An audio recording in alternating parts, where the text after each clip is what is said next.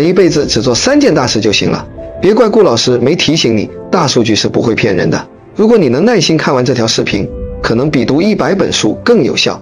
特别是最后一点很重要，最好是点点赞，转发给身边最好的朋友。第一件，爱护身体，身体是革命的本钱。一个人最大的错误就是拿健康换取身外之物，所以爱护好自己的身体。第二件，研究人性，只要看够人性，你就能在这个社会上立于不败之地。夫妻不到离婚。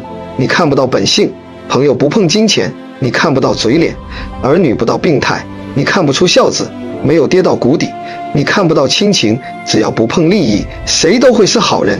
时间就是一把尺，量人量心量彼此的距离；人心就是一杆秤，称轻称重称真情；人性就是一面镜，照你照我照现实。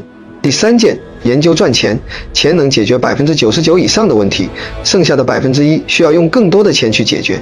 你发现那些可以在你面前肆无忌惮评价你的人，本质上就是瞧不起你。所以啊，翻脸不如翻身，生气不如争气，抱怨不如改变，求人不如求己。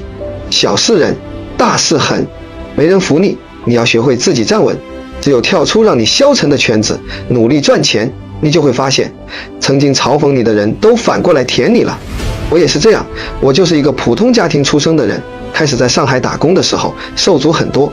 因为外语不好，同事嘲笑我中华土鳖。业绩不好的时候，连房东的眼色都要看。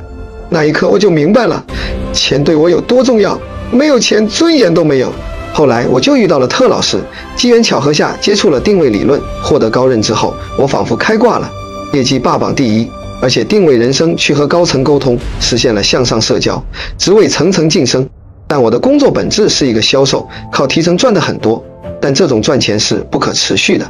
特老师曾说过一句话：“走进定位，你之前赚到的所有的钱，对于未来来讲都是零花钱。”所以，我一头扎进了定位理论里。后来，我遇到了一个项目，是杭州的一个包子铺，叫甘其食。我尝试用定位思维去打造这个包子铺，果然一年让我赚了六千万，我和我老婆都开心坏了。财富是认知的变现，而不是对努力的补偿。身边有贵人，脑海里有高维认知，你就会发现，赚钱如水到渠成，生活也很顺利。学习定位的二十几年下来，无论是事业还是家庭，都风调雨顺，让我赚到了很多钱。这都是因为我跟随了优秀的人学习，所以才改变了我的生活。点击左下角三百六十五，是我录制的视频课。